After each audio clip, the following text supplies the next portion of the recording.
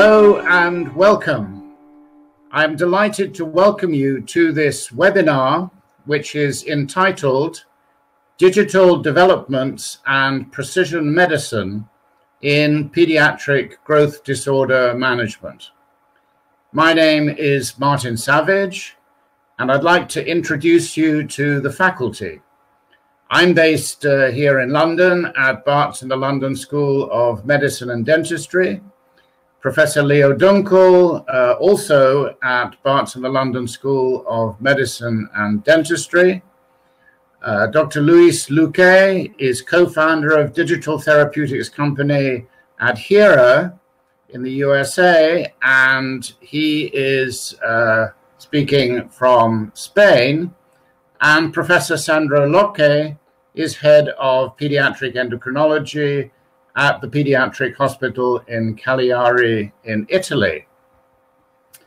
These are the learning objectives which set out what we hope the learners will be able to take away from the webinar, essentially to explain current practice gaps in the management of short stature, gain knowledge in digital programming, gain awareness of and confidence in the use of digital technology, and finally to debate what can be learned from the use of digital tools in other endocrine disorders.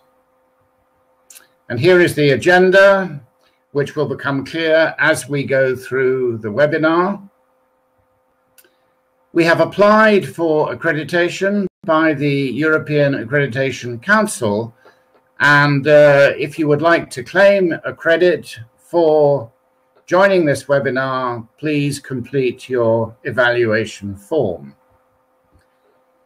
Now, throughout the webinar, you can interact by answering the polling questions and by sending us your questions at any time using the box on your viewing screen. Please complete the evaluation form at the end of the webinar, and you must complete the evaluation form, as I said, if you wish to claim credits for this activity. This program has been made possible thanks to an independent educational grant from Merck Healthcare KGaA Darmstadt, Germany. Some pre-assessment questions. In order to measure learning, the following questions will be asked now and at the end of the webinar to test your knowledge. The correct answers will be revealed at the end of the webinar if relevant. So here is the first question. Which of the following is false related to automated growth monitoring?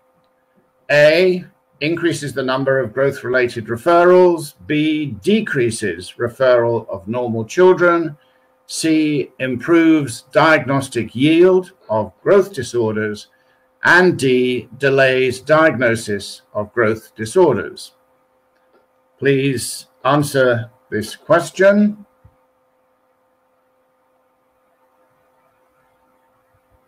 The next question is I have confidence in the use of digital technology to improve management of growth disorders as well as patient self management.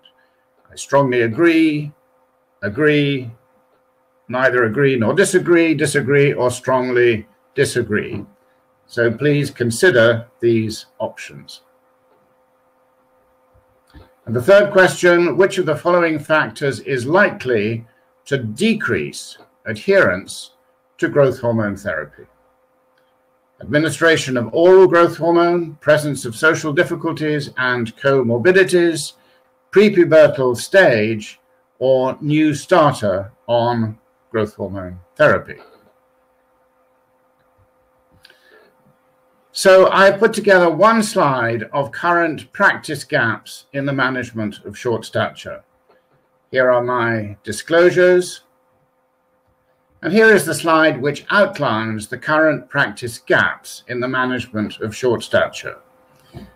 Early identification and referral of abnormal height and growth is extremely important. early correct diagnosis of true pathological short stature, early initiation of appropriate licensed therapy, accurate assessment of efficacy of therapy, notably with human growth hormone, high quality adherence to human growth hormone treatment regimens, and patient support and enhancement of the patient or family to healthcare professional relationship. So we will be addressing some of these practice gaps during the webinar. So it now gives me great pleasure to introduce Professor Leo Dunkel, who will give the first presentation entitled Digital Interpretation of Height Measurements to Facilitate Early Diagnosis. Leo. Okay, thank you, Martin, for the introduction, and uh, also thanks for inviting me to this webinar. My title uh, is Digital Interpretation of Height Measurements to Facilitate Early Diagnosis. Uh, these are, my disclosures. And I, I start with this very basic question, why do we measure height and weight? Uh, there's a lot of empirical evidence that growth is well established as an indicator of general health and well-being in children. And therefore, we think that monitoring height and weight is useful in identifying disorders affecting growth. And usually we uh, justify this exercise with early diagnosis of short stature disorders, most commonly growth hormone deficiency and Turner syndrome. Uh, screening for tall stature is uh, a bit more con controversial. There are some countries who do it, and I'm also touching this issue at the end of this talk very briefly. What do I mean with uh, early diagnosis? These are a couple of examples from my own clinical patient files. So here we have a girl with Turner syndrome who was diagnosed here at the age of five. Uh, but when we analyze her growth data in retrospect, these open diamonds they are abnormal height measurements. Uh, what I mean by abnormal, I'm also getting back to this a bit later. And as you see, she could have been identified already around the age of one year based on this height measurement. A couple of other examples here is we have a boy with tall stature and he's having Marfan syndrome his uh, uh, diagnosis was quite delayed, despite the fact that he was very tall during all his childhood. And, and this was perhaps complicated by the fact that his target height was quite high, so he had tall parents. But then, in retrospect, he had abnormal height measurements practically from birth. And here we have another example, a girl with growth hormone deficiency. And she was diagnosed here at the age of 12, which is, as you all know, it, it's very late age for diagnosis. And it's relatively desperate when we are very close to onset of puberty to increase adult height with any growth promoting therapies. And this girl could have been identified already at the age of four. So in this way, we are able to, at least in theory, facilitate early diagnosis with analysis of, of growth auxological data. But then uh, I, I, mentioned that uh, this is growth monitoring is very much based on empirical evidence, uh, and there are very many unanswered questions related to growth monitoring, like what is the best monitoring strategy? Should we analyze longitudinal height measurements, or is it enough we just make one off or single measurement? At what age, if we do fewer height measurements, at what age is the optimal age for this, and so forth. And then, perhaps most importantly, how do we, how do we define normal growth? It's not as easy as my, my, you might think.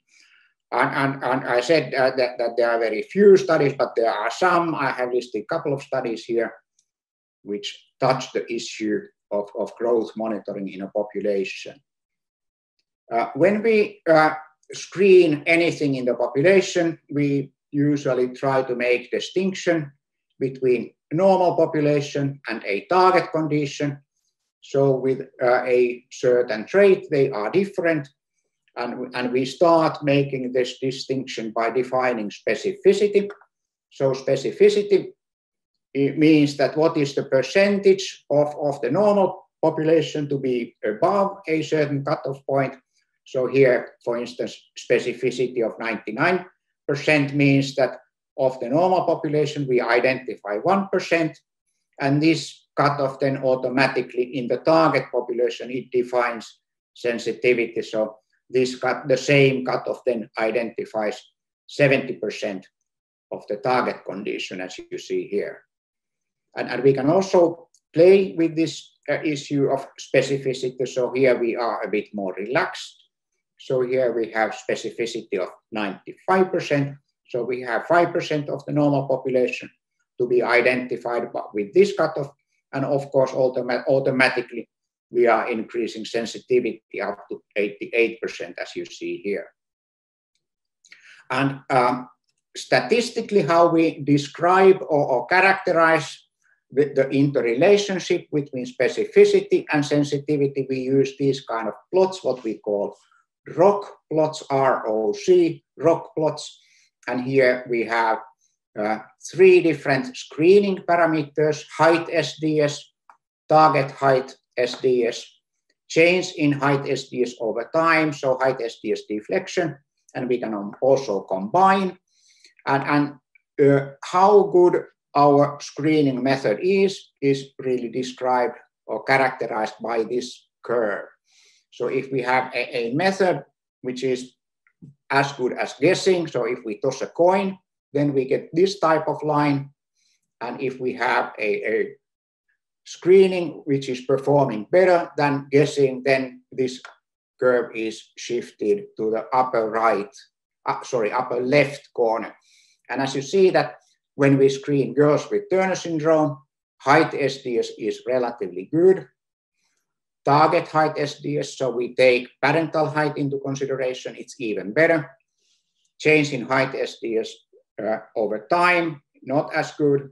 But when we combine these three screening rules, we get almost perfect separation between normal population and uh, girls with Turner syndrome. This is another way to look at this. So this is the, for instance, here we can look at the combined uh, rule combining height SDS, target height SDS, and, and change in height SDS over time. So if we have specificity of 97%, girls with uh, 45 XO karyotype, we can identify practically everyone by the age of eight years. And also if we include other karyotypes, of course, because many other karyotypes, they have a milder growth phenotype, then we can still identify relatively good percentage of girls with Turner syndrome, as you see here, by combining these three screening rules. But this all sounds relatively theoretical, and, and how do we do this in practice? And, and I will show one example, which is the Finnish example. So in this photograph, you see this is old photograph taken more than a century ago. Uh, this is from child welfare clinic or well baby clinic, and, and growth monitoring has very long traditions in Finland. So in fact, in Finland, they take this very seriously. So growth monitoring is regulated by law. Uh, and they have as many as 25 health monitoring visits during the growth period, including height and weight measurements. There are primary care nurses trained in auxology. There's very good population-based growth reference, which is important really to, to define no, normality. And what has also been very useful in this in the Finnish setting is that they have had electronic health records in primary care for more than three decades in, in operation. Uh, so how do they do this in Finland? They use these three screening methods or, or, or, parameters, what I just said, distance of height SDS from the average height. In. So here we use the population reference, distance height of height SDS from target height. So here we use the parental height, so genetic height potential, and then change of height SDS over time, which is the same as growth rate or height velocity. So it's just another way to express height velocity. And each of these rules has a specificity of 99%, so it means that roughly 1% of normal population is identified by these rules. So just to show this in practice here, we have in the y-axis, we have height SDS, and here we have individual height measurements of a girl. And these are the screening limits. So in, in Finland, they also screen for tall stature disorders. And the, the screening uh, cutoff point is, is the lower cutoff point is 0.35th centile. So if we look, for instance, this girl here, uh, we see that she's having abnormal height measurement by this definition around the age of 8.5. So then we take target height into consideration and, and you see that this is getting narrower and this works much better. In this girl, we see that she has abnormal height measurement here already at the age of 1.5. So, and practically almost all height measurements are, by this, this definition, they are abnormal. And then the change of height SDS over time. This is by far the most complicated one to do in practice because over a certain period of time, there are defined normal limits, like here at the age of nine. During the preceding three years, normal change in height SDS over time is 0.9 SD. She has had decrease in height SDS of 0.8 SD. So by this screening, rule, this is normal uh, deflection. It's not really flagging yet.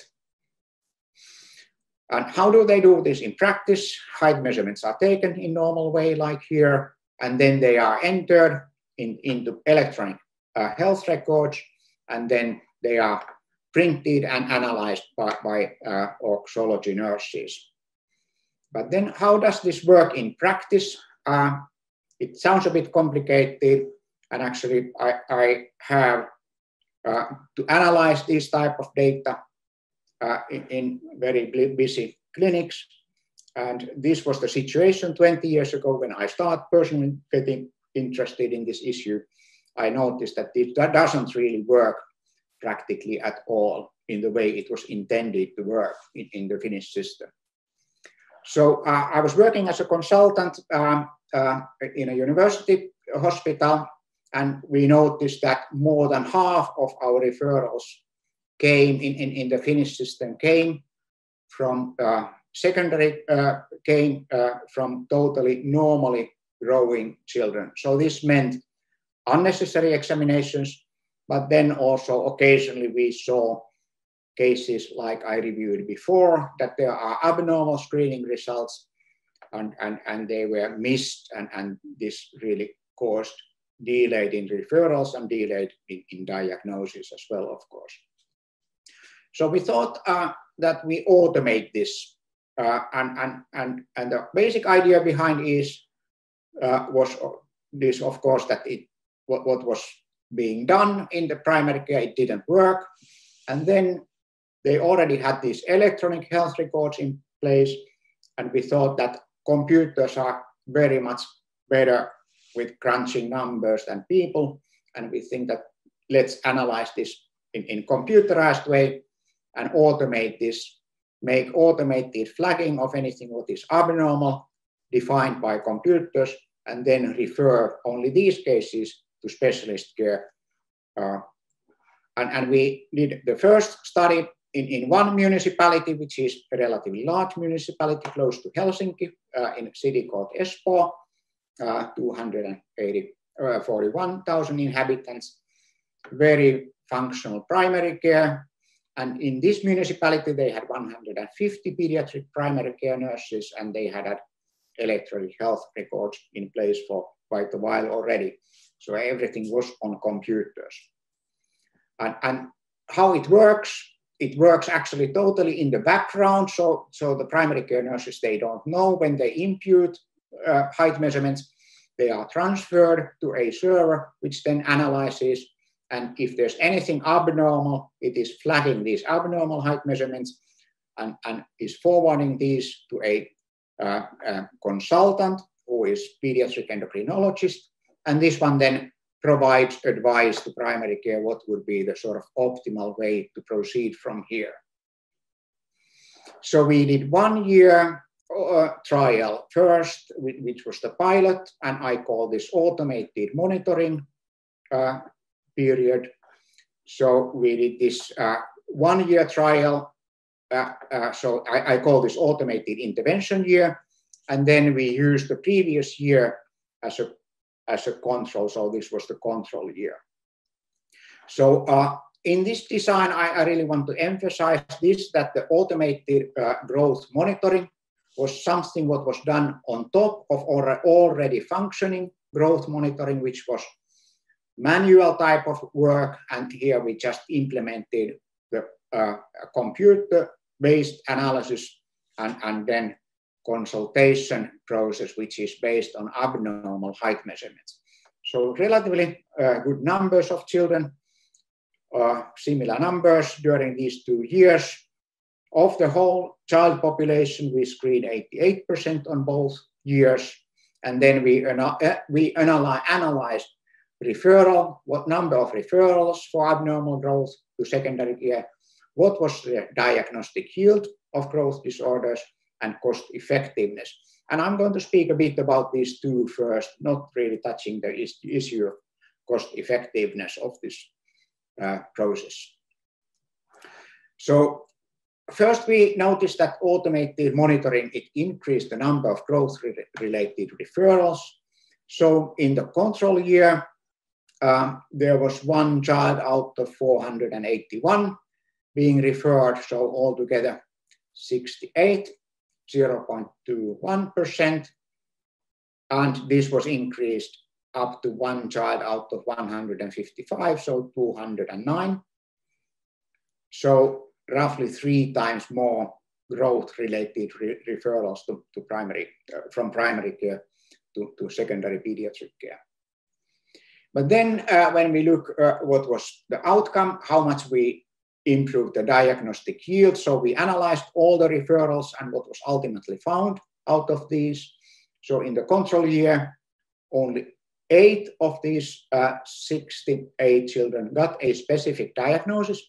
And this was increased up to 48, uh, which was quite significant because it was a six-fold increase in, in the diagnostic yield from control year to, to this automated intervention here. Uh, so at this point, I would like to ask you a question. If you think when we do growth monitoring, what are the diagnoses we aim at, at finding in the population? Is it Turner syndrome? GHD, celiac disease, inborn errors of metabolism, chronic kidney disease, bone dysplasia. So you can tick as many as you think are appropriate.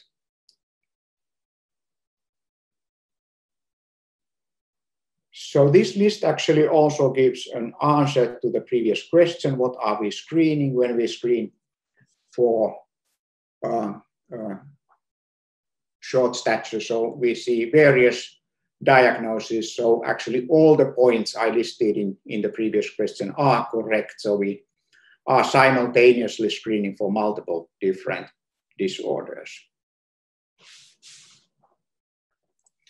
We also analyzed whether we could have identified these earlier. So now again, I'm, com I'm comparing the existing growth monitoring to this automated monitoring and, and we, in retrospect, we analyzed what was the delay of diagnosis, so how much earlier we could have identified this. So the average delay was almost two years, and in some cases, as you see here, there was very significant delay, which I think could have also really affected the outcome, the final outcome of, of the disease if, if this had been diagnosed earlier.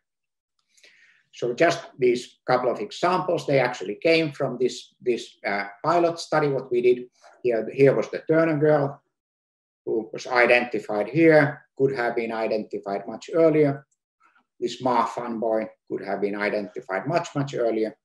And this GHD here also identified through this automated growth monitoring. So just to conclude, this type of automated growth monitoring, it, it, of course, it increases the number of growth-related referrals.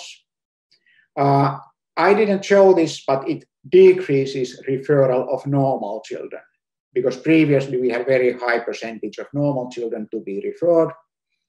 And it massively improves the diagnostic yield of growth disorders. And in this way, it, it also facilitates earlier diagnosis of growth disorders. So basically, it works better than standard growth monitoring in primary care, which was very relatively intensive.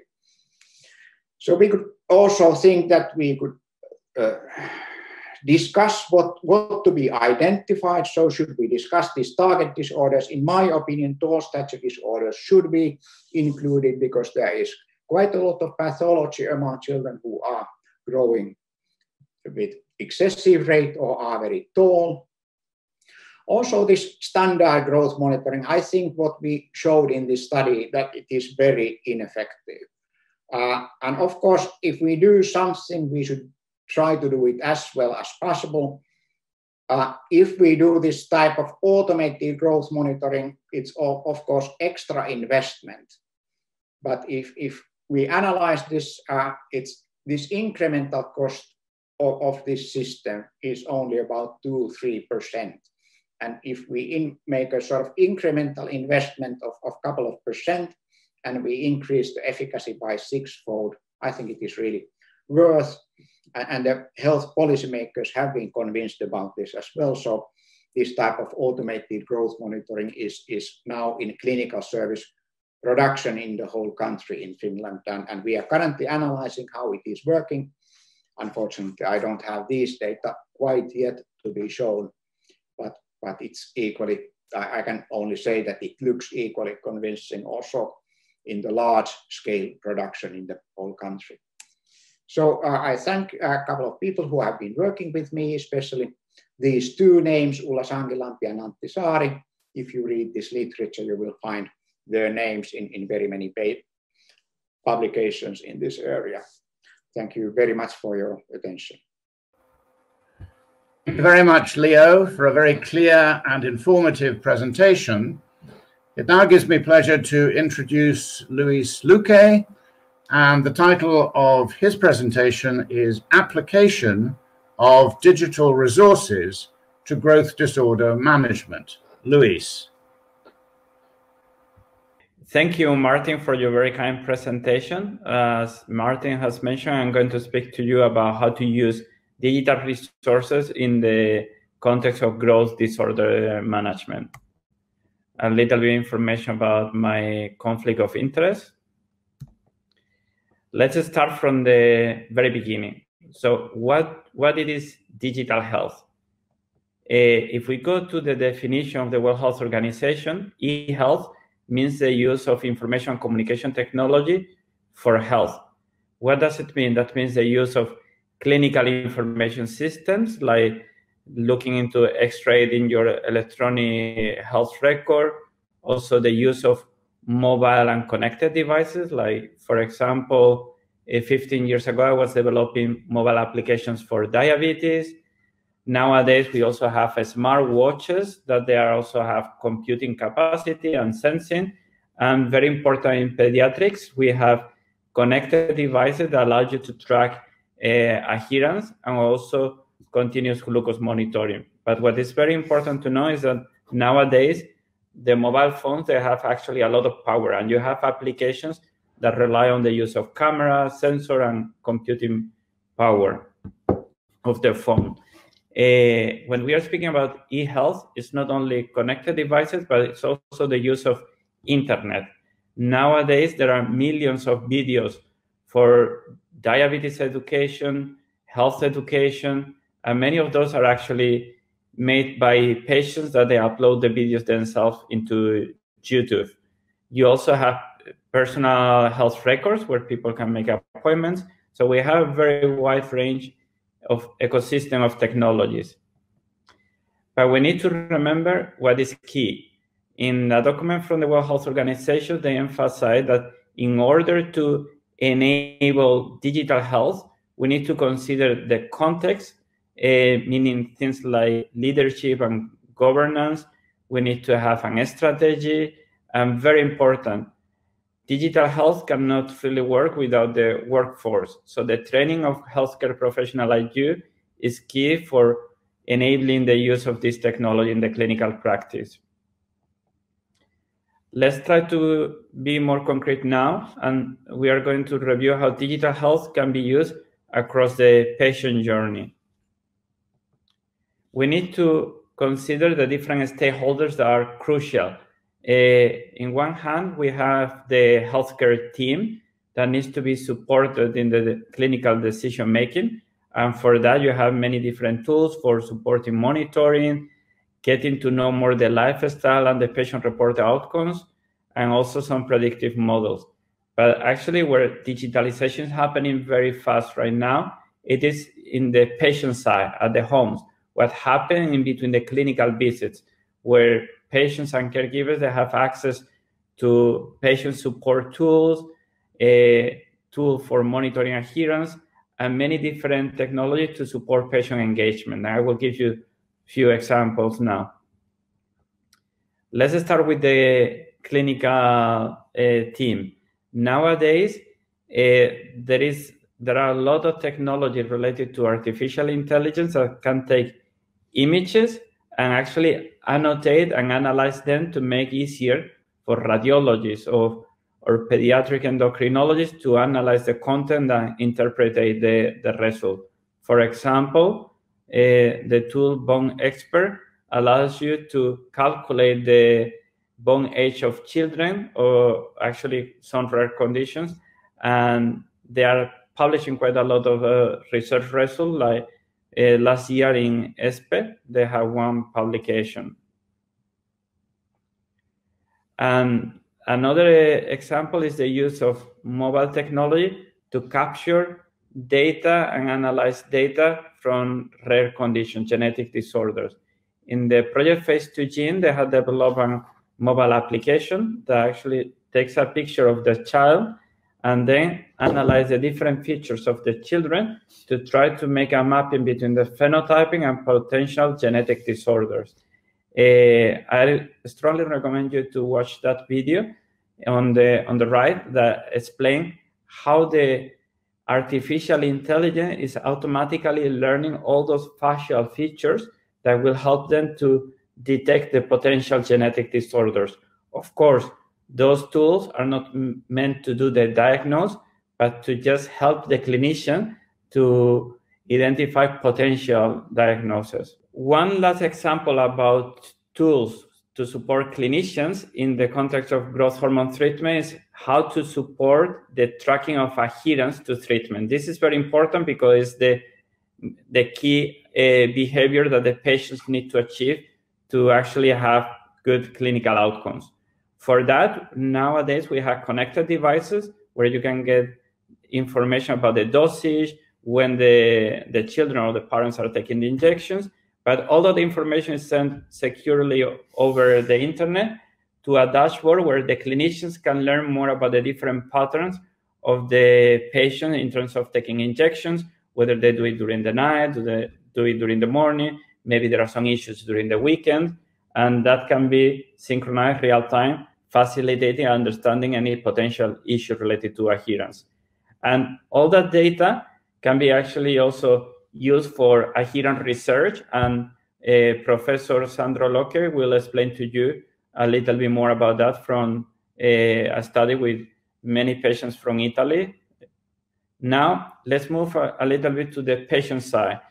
Uh, one thing that we need to realize that patients and caregivers, they use a lot of mobile phones. And actually, most likely, many of them have mobile apps installed. So we were wondering uh, what what is out there in terms of apps to facilitate to track growth meant to be used by by parents. So we went to the Google Play, and when you look for a application for growth, you find huge amount of them.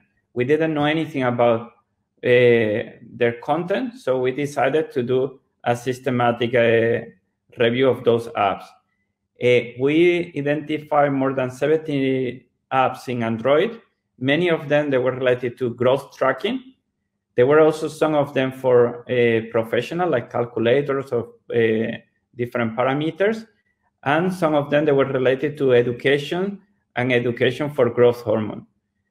One thing we need to know is that those apps they were very popular. In total, they have more than three million downloads, and there were some issues that actually may be a little bit scary. More than 20% of those apps they were collecting precise location of the user, like GPS data, most likely for running advertisement and getting more money from their ads. And also we found ads that were of very bad quality. Some of them even promoting natural growth enhancers or even exercises like promising like 10 centimeters growth if you do some stretching exercises. Now let's go to see what is in terms of evidence out there. We know that in uh, juvenile diabetes many years ago, they were already making uh, solutions to support patient education. How they did it? Combining technology related to games with education, because in children we know that game-based technology can be very efficient. So what they did, they created a video game for the Nintendo that in order to progress in the game, to cover all the different missions, uh, to get points, the user, the children with type 1 diabetes, had to learn about glycemic control, about food, nutrition. They did a randomized control trial and actually they managed to prove uh, better outcomes in terms of self-efficacy, communication issues, and also a decrease in uh, urgent doctor visits. It's not only that technology can help in the early stage of the diseases. There are also studies showing that technology like web and SMS can be used to facilitate the transition to adult care. In this project in the US, what they did was to create a special content to promote communication of the patients with the adult care team and also to promote self-efficacy and uh, self-management behaviors. They did the randomized control trial and they managed to have actually positive outcomes in several chronic conditions in terms of uh, disease management skills, self-efficacy, and also communication with clinicians. One thing we need to know about technology is that new techniques are emerging all the time because many devices are also coming to the market. They are becoming more powerful and they allow to do things that maybe five years ago was not possible because the technology was not ready. Uh, one very good example is augmented reality. As you can see in the image on the left, nowadays the mobile phones can analyze the content of the camera and actually put new information on top of the images. That's what is called augmented reality. In that uh, example that is related to diabetes education, the camera analyzes the food plate and then give extra information on top for educational purposes. And in the context of growth hormone therapy, there are also mobile applications like the one that you had the link in there, that using game techniques uh, encourage children to learn how to take injection for growth hormone and also uh, do it in a way that is entertaining and promoting uh, good injection techniques. Now let's move to the discussion. Now I would like to address some few questions that will help us with the debate. which technology do you think has the biggest potential to support patients? Also, and very important, do you believe clinicians are, and patients are trained enough to use digital health nowadays?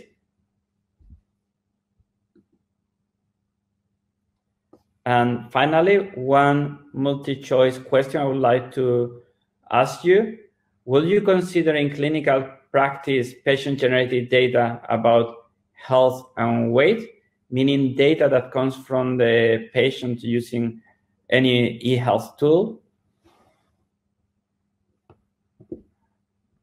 Thank you. If you have any further questions, you have my contact details in this slide. Thank you very much, uh, Luis, uh, for a very informative presentation. And it now gives me pleasure to introduce uh, Sandro Loche. And Sandro's presentation is entitled Growth Hormone Adherence Management Using Digital Technology. Sandro, thank you. Thank you, Martin, for your kind presentation. These are my disclosures. Uh, I wish to start my talk uh, with a simple question. Is adherence an issue? The answer may sound trivial. But the optimal results of therapy are achieved when medication is taken as prescribed in the real world, this is a major challenge. So consider that both the WHO and the OECD, two international organizations, estimate that one out of two patients with chronic disease does not use their medication as prescribed. And you can imagine this is a big problem and a major challenge. As a matter of fact, drug companies have designed a number of tools and different devices to help monitoring adherence. And you can see some example in these slides, like video directly observer therapy, add-on pens, smart blisters, connected pens, or the modern electronic auto-injectors can that can record the number of injection, the dose, the timing, and so on. But let's uh, go to the topic of my presentation, which is adherence to growth hormone therapy. You all certainly know that the goal of growth hormone treatment include normalization of linear growth the achievement of a normal adult stature, and the correction of metabolic abnormalities when they're present, especially in those with severe growth hormone deficiency. However, there are a number of factors which may influence responsiveness to growth hormone treatment. And these include baseline IGF-1 concentration, the dose of growth hormone used, the duration of treatment, the genetics of the individual patient, the diagnosis, age at start of treatment, bone age, height, the parental height, as well as adherence to treatment. On the other hand, adherence may be adversely affected by a number of factors which can be related to the patient itself or to the disease or to the doctor or to the treatment. Let me just give you some examples. There are patient-related factors, such as the confidence that the patient has in the treatment and the doctor, or the fact that the treatment regime takes into account patient stage of development. There are disease-related factors, such as the fact that you're dealing with an acute disorder or there is severe affection. or the real understanding of the value of treatment and how it may improve the quality of life of the patient. There are doctor related factors such as doctor's medical competency or doctor's communication skills in explaining both medical benefits and adverse events. And finally, there are treatment related factors such as the frequency of injections, the fact that the regime of treatment is simple or complex, the fact that non painful procedures are involved, and the possibility of using devices that offer of use. And now I have a question for you. Which factors are associated with, with poor adherence in pediatric patients taking growth hormone? Gender, use of conventional syringe rather than automatic pen injection device, underlying cause of short stature, initial height standard deviation score, or concern regarding size or growth response. Please pick one. Well, the correct answer is two. The use of conventional syringe rather than automatic pen injection device. A number of studies have shown that using automatic pen injection device improves adherence in a variety of conditions. Now, what do we know about adherence to therapy with growth hormone? Actually, there are a few studies reporting the rate of adherence in long-term growth hormone treatment. The results are very contrasting and mainly depend on the method used to record adherence. They range from 6 to 81% of poor, of poor adherence. So there is no homogeneity between different studies. Virtually all use non-objective methods, mostly questionnaires. So, but what happens if a patient is not adherent? Non-adherent patients may not gain the physical and psychological benefits of growth hormone treatment. Although with the limitations that I taught to you before, a couple of studies have shown that poor adherence is in fact related to poor growth.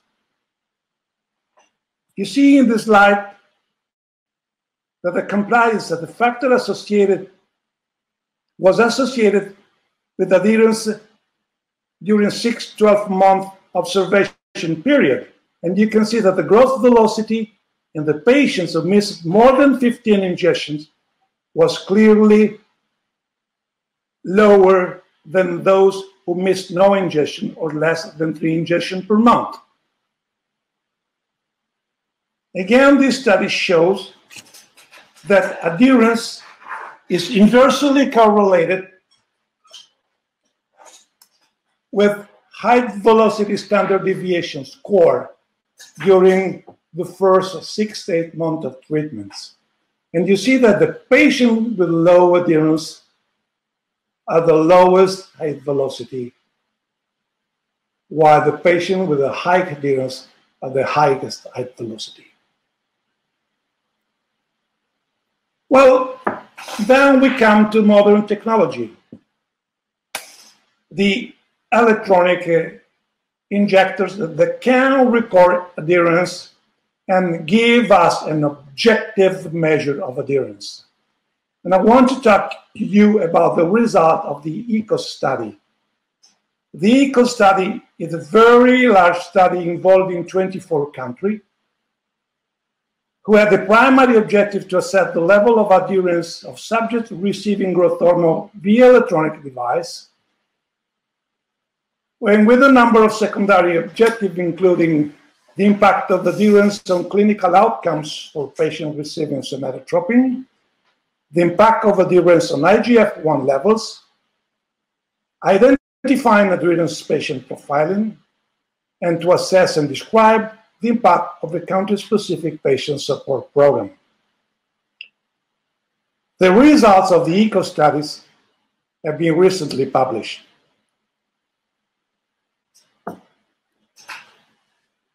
More than a thousand patients, actually almost 1,200 patients were involved in the study. More than 600 were growth hormone naive. 75% have growth hormone deficiency, 17% were small for gestational age, 7% have Turner syndrome, and 1% with other conditions.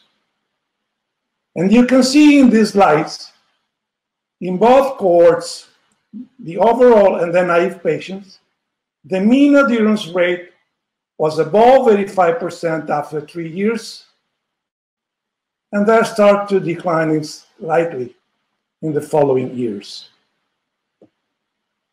But this study allowed us to answer a number of other questions. First of all, does adherence have an impact on growth outcomes? And the answer is yes. There was a significant correlation between adherence rate and change in height SDS and height velocity SDS after one year of treatment. And I want to remind you that the growth response in the first year of treatment is the best predictor of the final outcome. But more than that, in a subset of patients from the ECOS studies, it was shown that suboptimal adherence negatively affected the growth response in the first two years of growth hormone treatment. So adherence is related to growth.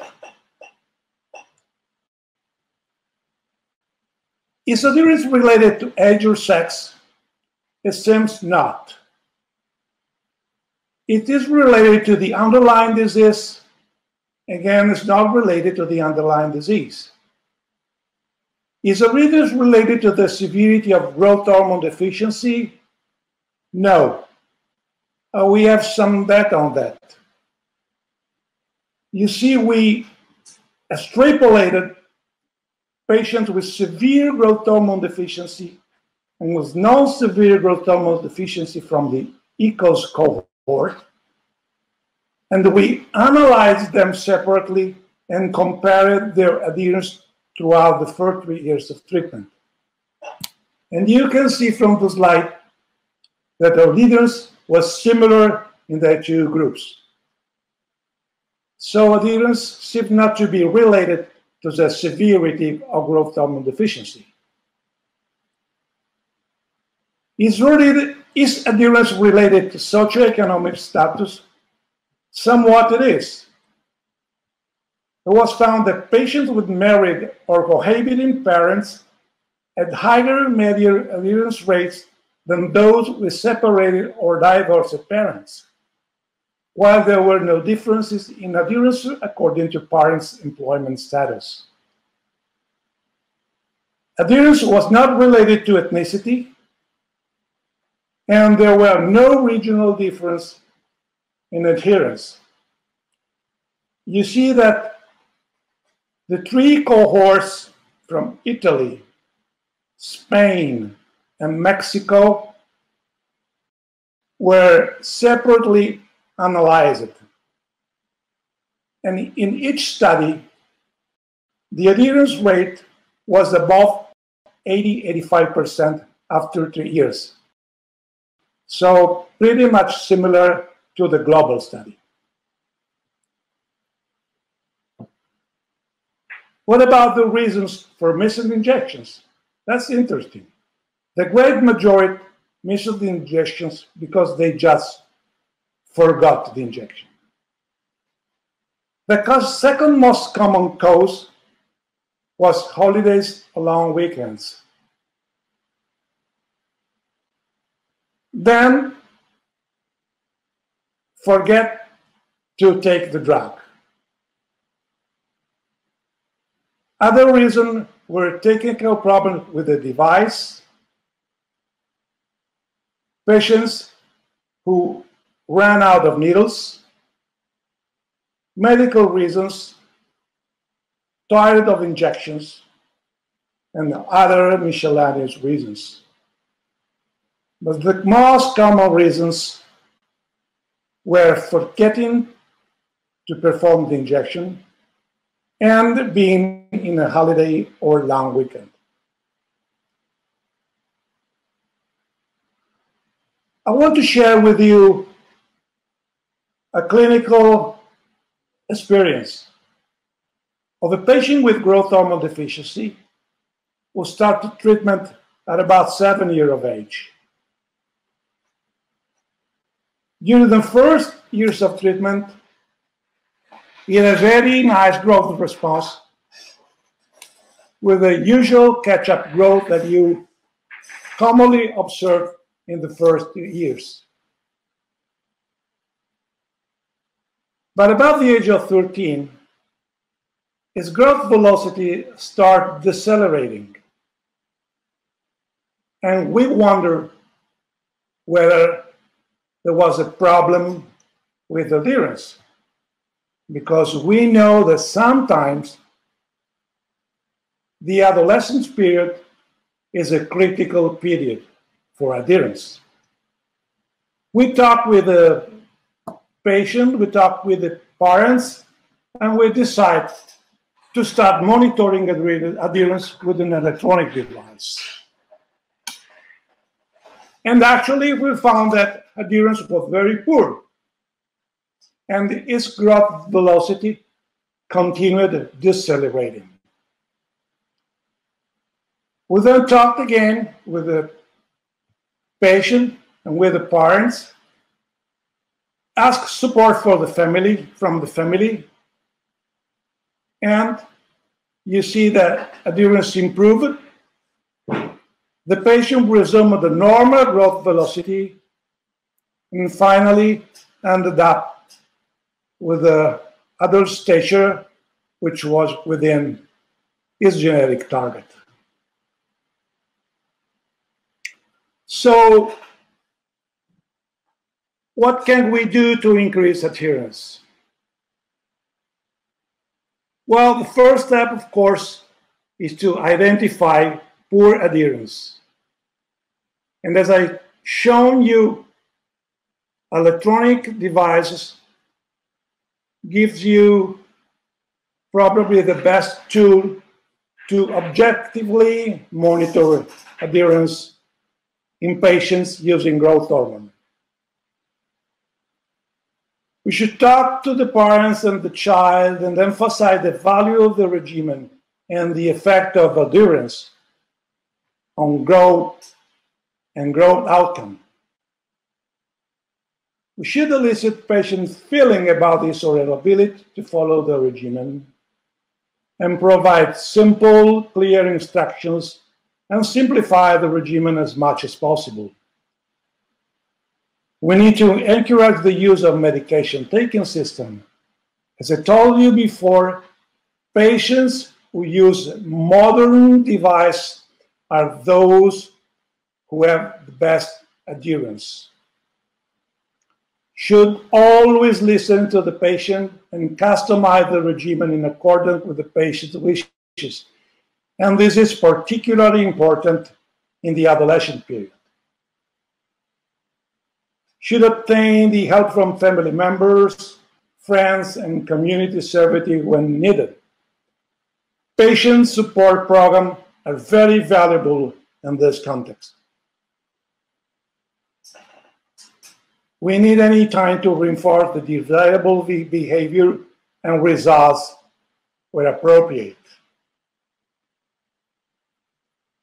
In conclusion, digital web-based technology allows close and objective monitoring of adherence in patients taking growth hormone.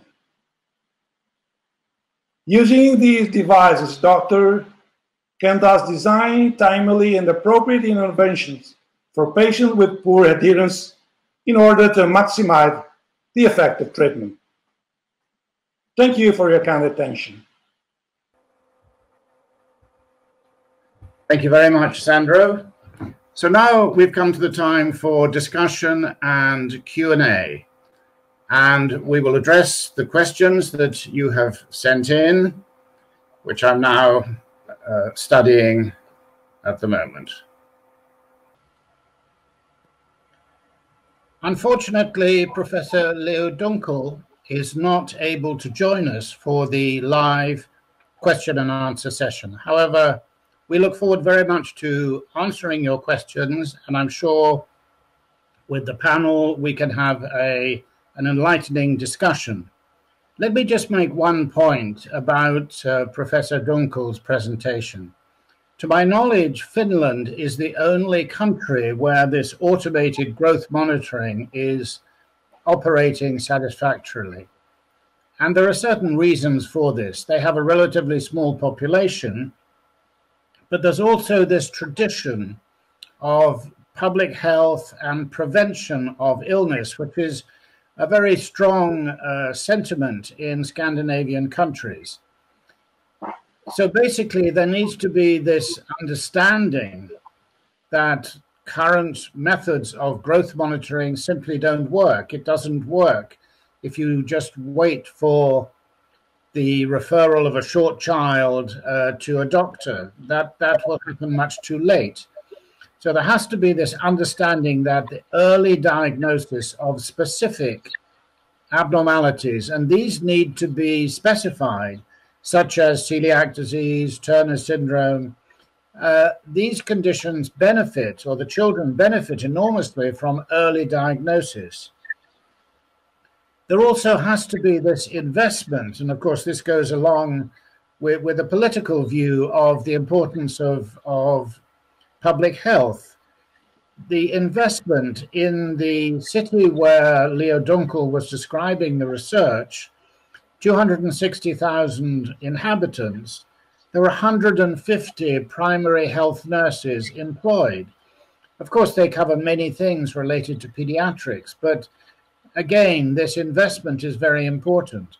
And of course, they have to be accurately trained and they have to be able to measure the children very carefully. And this involves enormous training. They have to be able to measure with a measure with an error of um, less than one millimeter in terms of height. So I think this is a very interesting model, and it would be fascinating to see how transferable uh, this model is to other other countries. Now, let me uh, open the discussion by asking Luis. Luis, if I wanted to establish a a program of automated health uh, monitoring, particularly growth, in my in my region, in my department, and I came to you as a as a technology consultant, um, how would you actually how would you go about this? What are what are the essential steps that are really necessary in order to make this work? Thank you, Martin, for your question. And that's actually something quite important in the sense that there are many different aspects that need to be addressed. First of all, you need to speak with the IT department to make sure that you understand the privacy and cyber security policies of your hospital or your region. Otherwise, you will never manage to have it interoperable. Second, you need to also find out how you want to see that data into your clinical uh, system, into the computer. Do you want to visualize in a particular way, uh, etc. And never forget that you will need to train the both the patients are being collected that you are collecting the data from and the clinicians on how to use that data as part of the clinical decision making. Okay, so basically this is something which this is a program which links primary care because these are healthy children uh, in school to hospital care, which is the time where the the data are viewed by a consultant, by a pediatric endocrinologist, to see which of the children actually need to be seen in in the hospital. So um, I think it's very important. And I think one of the benefits of a system like this is that it brings together primary care and secondary care, and then, of course, tertiary care, which is the special, specialist investigation and treatment of, of some, some of these children. So this is obviously very, very important. And again, there has to be the conviction that the early diagnosis of celiac disease or Turner's syndrome is of significant benefit to the patient and family. And that is, that is clearly the case. There's no question. If you take uh, celiac disease, which is one of the conditions that was diagnosed early, which Leo Dunkel presented, there is no question that the health of the child treated early for celiac disease is significantly better than uh, the child who is diagnosed much later because growth is a is an issue in celiac disease. So um, let me come back to you, Luis. Now, you gave a very elegant presentation on the possible involvement of digital tools in endocrinology. And I can see that in something like diabetes, where there has to really be minute by minute control in order to avoid hypoglycemia, in order to avoid ketoacidosis. And the child receives a message on their phone. They have to they have to uh, get their blood tested and then perform some action. I can see that the children are, are very, very involved. But with something like growth, which happens on a much slower basis, how do you really think that digital tools can help in the in the monitoring of growth? Obviously, Sandro has talked about adherence, which we'll come on to in a minute. But in terms of the routine assessment, diagnosis, and monitoring of growth, do you think digital tools have an application? Thank you for your question. And definitely collecting data from the patients is very important. And you can monitor growth. There are some technologies that can do it at home. Of course, the quality of the data will depend a lot, a lot on how the, the parents or the children are doing the, the measurement. But with the proper training, you can manage to get data that is meaningful always never substituting the data that you get from the clinic. But there are also many other things related to growth that you can monitor. You can monitor physical activity, nutrition, and also very important, all the behavioral and emotional aspects that will have ultimately an impact into adherence. So you want to know whether stress is affecting the way that the parents or the kids are approaching the, the treatment and that can be monitored using mobile health solutions. And presumably, you need you need growth charts which are specific for the particular population that you are studying. And um, this is something which, which has been discussed. Are the WHO growth charts appropriate because they are designed for a multi ethnic uh, population? Or are national growth growth charts um, really more valuable in this situation? Do you have a view on that at all? Yeah, that's actually a very important point. We did a systematic review of mobile application for tracking growth, and they're extremely popular. We published, uh, I think, what uh, early this year. Uh, there are hundreds of apps, apps for tracking growth. One of the challenges that many parents, when they are looking for those tools to uh, do the growth charts of their children. They may be in Portugal and they, without noticing, they may be using the growth chart from USA. So that yeah. can be a very big challenge. So having tools that are tailored to the specific population countries is quite important because otherwise we may give the wrong information to the families and that can have an impact in the clinic in terms of expectations, etc. So this really points towards the importance of a partnership between the family and the people with te technical knowledge who are advising the family and the hospital uh, specialists, if you like, who will be able to advise in terms of uh, investigations and uh, also also progress uh, in terms of giving encouragement when the child is seen to be growing very well. Let me ask you about uh, patient data, data accumulated outside the hospital. Is there an issue at all in the in the, the sharing of patient data? Are there ethical issues related to that? Yeah, that's that's a very good comment. And first of all, uh, it's very important to know that if we want to understand the health of the patients, uh, we need to look into the lifestyle, into the behaviors, how they are doing uh, in the daily life. That has a very high impact in quality of life and also in clinical outcomes. The problem that right now, you clinicians very often don't have that in, that data because it doesn't happen in the hospital.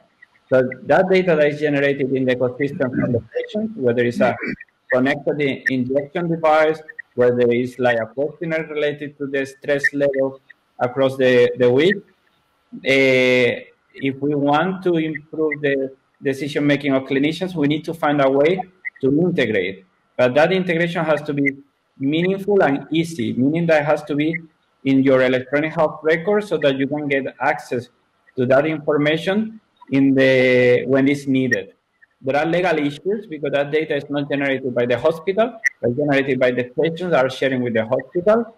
There are also uh, usability issues because clinicians don't know how they are, how to see that data. Sometimes the visualization may be a problem. And of course, quality can be also an issue. So then we are dealing with much more data that quality sometimes is not as good as the clinical one, so how do you factor that into the clinical decision making? That's a big challenge, and there are quite many people researching into that area. I mean, quality of life uh, assessment in children, I think, is very difficult for a number of reasons. Firstly, in terms of privacy, I mean, the family may not agree or want healthcare professionals to know about certain aspects of the of their of the quality of life. I mean, if the father has an alcohol problem or the mother smokes or whatever it is, or um, you know they're they're separated, I, I think that's one aspect which makes it very difficult. The other thing is that children are amazingly adaptable. And for many years, it was difficult to demonstrate actually that height was a negative quality of life factor. Um, it, it's now only been more recently uh, demonstrated through highly sophisticated questionnaires that height gain actually does improve health-related quality of life. So these are these are uh, difficult aspects and also time-consuming, and because they're time-consuming, they're expensive. And these are these are different factors. Now, there's a very interesting question which has come in, and I'm just reading from my screen. The, the concept of having uh, research centers helping and helping to establish digital tools within an academic department. Can you say can you say something about that? Yeah, that's a very good comment because we know in health technology in general that very often in implementation solutions fail. People may have a mobile app and then they go to the hospital and then nobody uses it or actually they may have negative outcomes. And very often it's because they forgot the human factor. So we need to really understand how you integrate the technology into the highly demanding clinical setting. How can you do that? You can collaborate with research centers that they specialize in usability research, that they do uh, workshops where they test different innovations to get the input from all the different stakeholders in, in a way that you can minimize the risk of failing in the implementation. And there are many groups that specialize on that. And it's pretty much mandatory to do that type of collaborations before you put technology into the clinical setting. One characteristic is also that it tends to be very multidisciplinary. You need people from design, people from psychology, from technology. And of course, the driver has to be also clinicians and patients. But that's really important if we want to have successful stories in digitalization in the health domain. Thank you very much. So let me now come to Sandro. We, we've heard your very interesting and very convincing presentation about adherence to growth hormone treatment. How difficult is it to persuade, first of all, a pediatric endocrinologist who's maybe been practicing for several years and he has his he or she has their established organization how difficult is it to persuade this person that adherence is a key factor in the success of growth hormone treatment? Thank you martin. Thank you so much for your question. Actually uh, since uh, some years ago people were uh, a bit skeptical about the role of adherence in, in uh, the response to the growth hormone treatment. Actually, we now know that there are about 15 to 20 percent uh, of growth hormone treated children that have a poor adherence to, to the treatment. And uh, the ECOS global study has shown uh, nicely that there is a a clear correlation between uh, the levels of adherence and the growth response. So this fact need to be taken into consideration and adherence should be uh, regularly monitored and closely checked. I can uh, just tell you about our experience. We, you know, first of all, we encourage the family to bring their device when they come uh, for the visit. Uh, then during the visit, one of our nurses or one of our uh, specialist uh, trainees, which are trained to, to, to, to uh, download the data from the device, which is actually very easy, uh, do that while we visit the patient, and then they come back with the uh, record of adherence over the last three months because we see these patients usually every three months. Now, if adherence is good, we just congratulate with the patient and with their parents, and we encourage them to keep the same level of adherence. If adherence is bad, we, of course, we need to take some action, and the action depends basically from the age of the patient.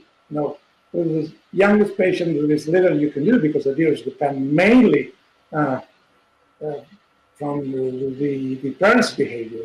So we talk mainly with the, with the parents, or we talk with the, the, the, the adolescent when uh, when uh, this is the case. We, we, we, try to, to to motivate and to, to, to of course to keep motivating and uh, trying to let them understand about the, the importance of adherence um, on the, the outcome on, on their response to growth the treatment.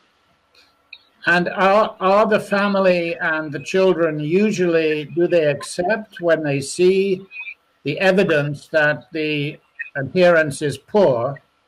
Do they accept that, uh, you know, something needs to be done, that the situation is uh, is unsatisfactory, or do they tend to deny the the adherence, uh, the poor adherence?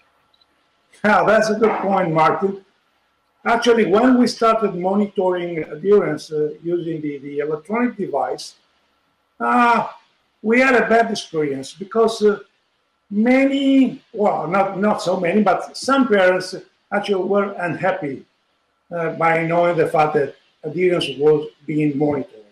So we learned a lot uh, from this experience, and we now start by uh, talking with the family and uh, telling them that monitoring adherence is essential for ourselves because monitoring adherence will eventually uh, give us the, the answer or uh, an explanation for an eventually an eventual you know poor response.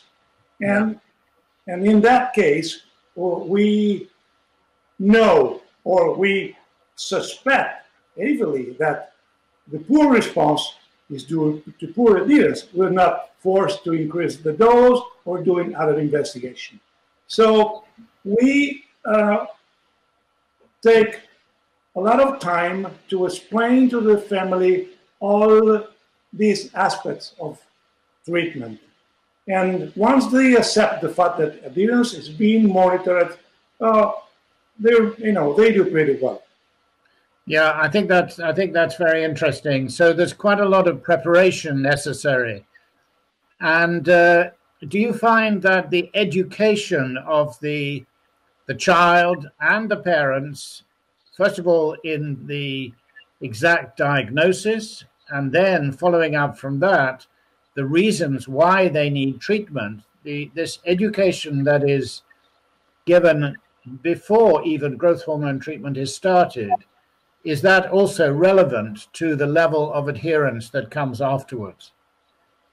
Well, Martin, actually, this is the case. And this is really the case. And there are uh, data produced in, in, England and in Australia that show that the level of adherence is uh, uh, correlated to the level of understanding. So, yeah. as much as the family is aware about the situation, the severity of the situation, and the benefit of treatment, the better is the levels of adherence. And how, how do you actually motivate the children to, um, you know, to have their injections regularly and not to react and, uh, you know, refuse their injections? How, how do you motivate a young child on the importance of having daily injections when they may they may not see any obvious result.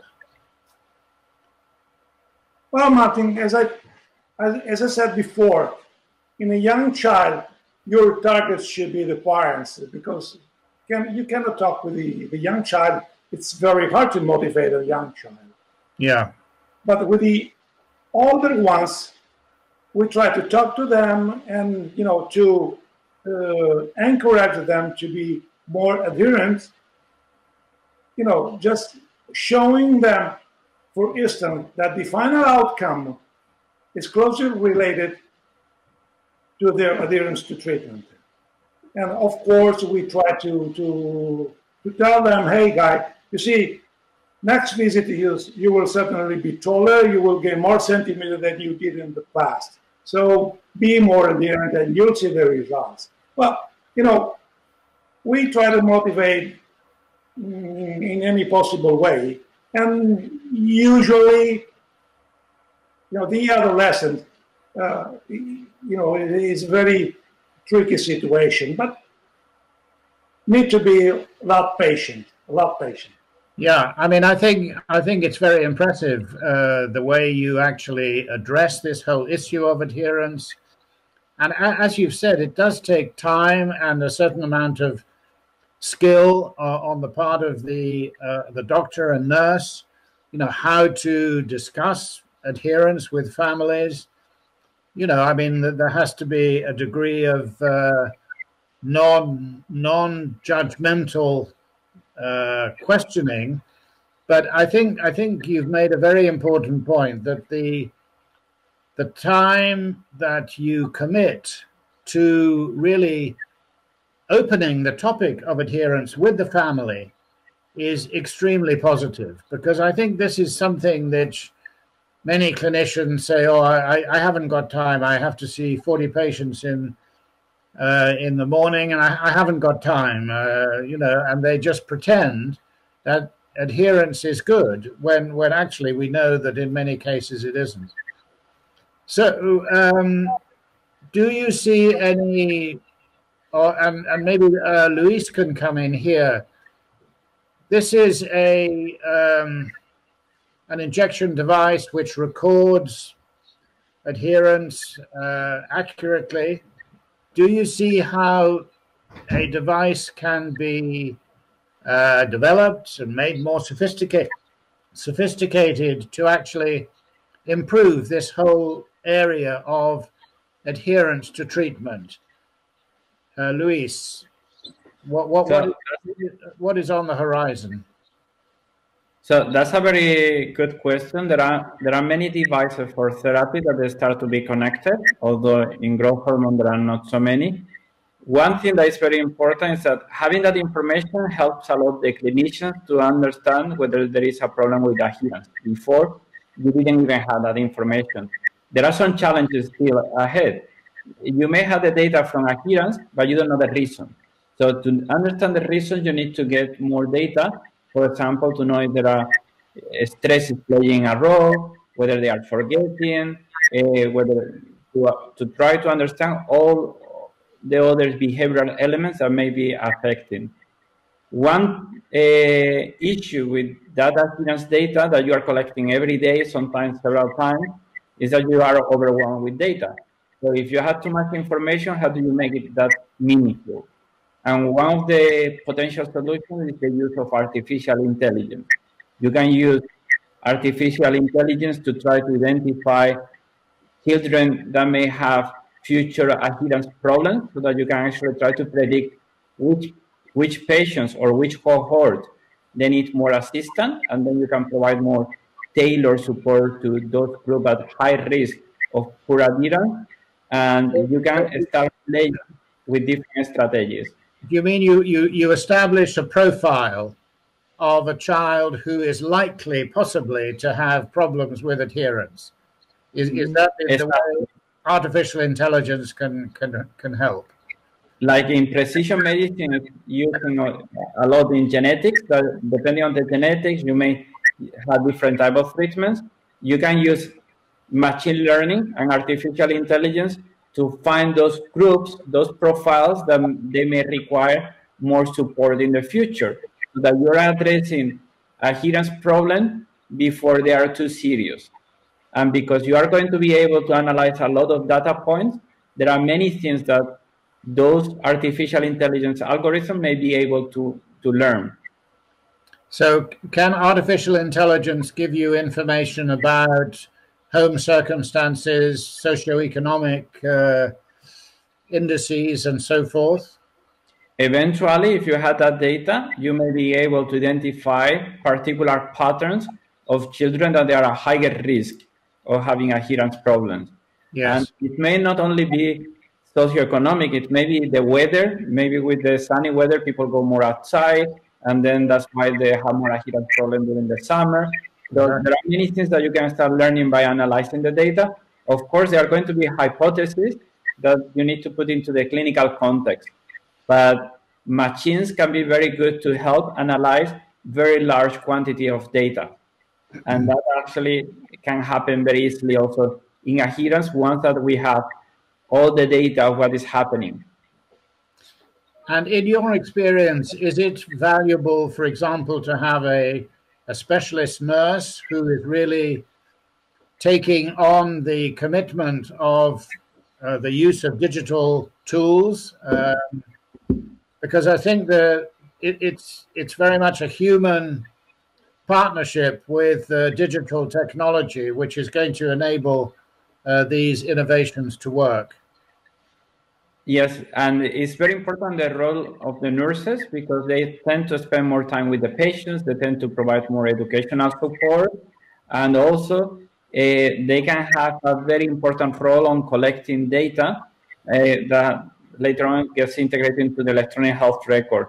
And at the end of the day, we need to think that technology is not it's just a tool, and it's a tool that helps different humans, whether they are nurses, doctors family doctor, a parent to work together. So we have to think more from a service and a collaboration point of view if we really want to extract, to extract the maximum value of those technologies. I mean, yeah, I mean, there will be an argument that any new technology costs money. So basically, you have to make the case that if it works effectively, mm. Uh, it, it's going to save money in, some way. And I, I, can I can see that uh, you know, new budgets need to be identified to pay for new digital tools. Um, and th- this this must be one of the the most difficult aspects, really, of persuading a health authority or a academic institution or even primary care to invest so much into a tool that uh, eventually will save them money, but will cost a certain amount in the short term. Yeah, that, that's a very good comment. And in any technology and any innovation you put into the health domain, you always have a cost, but you have to think more of a cost opportunity balance because you are investing on something that can improve the quality of care, can make more efficient the time of nurses and doctors if you design it properly, and eventually can not only save money but also uh, make more efficient the work of clinicians.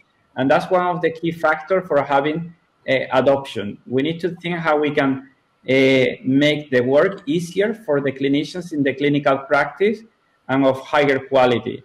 Because at the end of the day, money is an issue, but the time of clinicians is even more. And having proper integration and facilitating the work of the clinicians will help a lot. And that can be as simple as letting the patients to collect some data, for example, quality of life, that you don't need to run those questionnaires in the clinic, taking time from the clinicians. And there are many different ways that you can try to maximize the value that you are offering to the clinicians. And of course, you also may need randomized control trials if you are looking into clinical outcomes. Yeah, I mean, one one of the sort of conflicts is basically you you give a family a questionnaire to fill out while they're waiting to see the doctor and to tick boxes. You know, I've had no uh, respiratory symptoms, no gastrointestinal symptoms, etc., etc. They just tick the box, but that misses out completely on the clinical skill of answering a direct question, so that you elicit a information which is actually relevant to the diagnosis. And um, I think this is this is a problem that is going to is difficult to get over. Really, the the actual clinical skill of being able to elicit a response or an answer from the child or the family which is relevant to their diagnosis rather than simply ticking a box, which uh, which should give you the same information, but in fact, realistically, it doesn't. Yeah, the, there is one project in Oslo that is called Sisom, where they created those questionnaire for children uh, hospitalized, but they did it in a way to complement the clinical encounter later on between the nurses and the children. And they found out that by integrating both the clinical encounter with the mobile application for collecting the patient reported outcomes before, they had more meaningful conversations. The patients that were reporting more symptoms, their fears, etc. But it was designed in a way to complement, not to be a substitute. If you try to substitute something that has been done in the clinic for decades, for centuries, most likely you are going to fail because you will be missing many things, as you mentioned. But we can try to think how to complement it. That will be the, the key aspect that you need to consider always. It's a question of uh, being able in a, a, mobile device to ask a direct question, you know, which will give you a meaningful answer, rather than simply an indirect question, such as, you know, uh, I've had I, I've had no gastrointestinal symptoms, no headaches or anything. They just tick all the boxes. And actually, you come out and you look and you, you, you've got no information at all. So, um, yeah, I think that's very interesting what you said about questionnaires which, which complement and add additional information. But what about the training, the training of healthcare professionals and nurses? Important. I mean, the nurse really has to have be able to address the family, whether it's adherence or whether it's uh, some sort of symptoms or related to diabetes. The nurse has to have the confidence and the experience to be able to to do this as a, as a professional. So there is obviously training involved in in getting the healthcare professionals up to the level that they so they are convincing. Because if they're if they're not convincing, then the whole thing falls apart.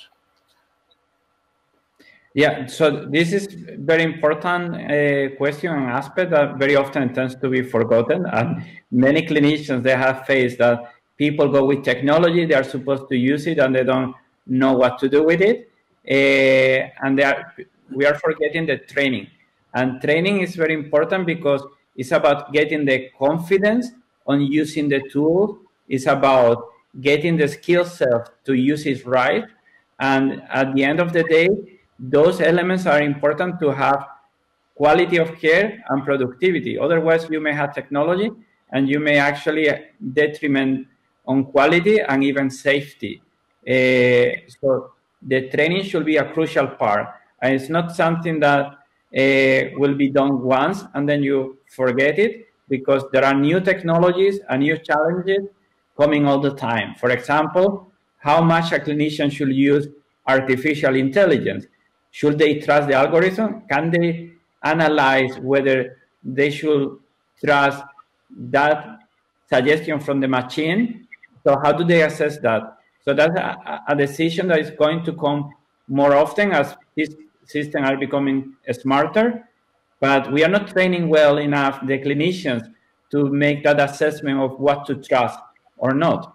And yeah. that's very important in the future, especially if we are considering the safety of the patients. Absolutely, absolutely. Well, thank you very much indeed. And uh, I think we're coming now to the time when we will we will uh, wrap up this question and answer session. I would like to thank Leo Dunkel, uh, Luis, and Sandro for their excellent presentations, and also for this uh, very nice interactive session and to you, the audience, for sending in your questions. So we're now going to return to the questions which we asked at the beginning of the webinar, you may, may remember, and we're going to provide the answers. So post-assessment questions. Which of the following is false, related to automated growth monitoring, Second question, I have confidence in the use of digital technology to improve management of growth disorders as well as patient self-management. And thirdly, which of the following factors is likely to decrease adherence to growth hormone therapy? So we now come to the end of the webinar. I would like to thank you very much for joining us. We hope very much that uh, this has been a positive learning experience for you. And uh, again, thank you and goodbye.